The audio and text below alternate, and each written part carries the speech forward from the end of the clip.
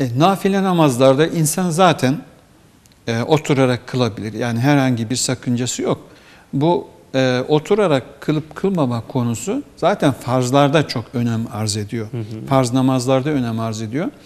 E, burada e, kardeşimizin durumunda olduğu gibi e, benim diyor dizimi bükmem e, sakıncalı ve ağrı yapıyor diyor. Belki doktoru da aynı şeyi söylemiştir.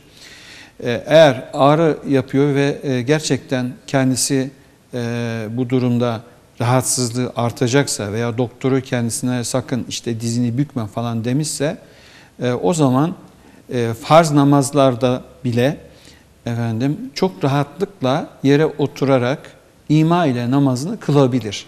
Yani başkalarının şöyle veya böyle demesi farz namazı illaki sen e, dizini bükerek kılacaksın demesi bir anlam ifade etmez. Yani burada herkesin gücüne göre e, ibadet yapması esastır. Takatına göre, gücüne göre ibadet yapması esastır. Tam tersine e, gücünü zorlayıp da burada ağrı sızı içerisinde namaz kıldığı zaman o namaz ona huzur vermez.